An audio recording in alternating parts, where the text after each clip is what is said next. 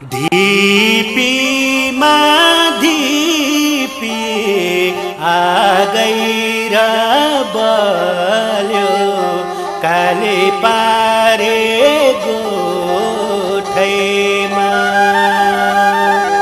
नजरै पुग्यो लौनानी मेरो पिपल पाते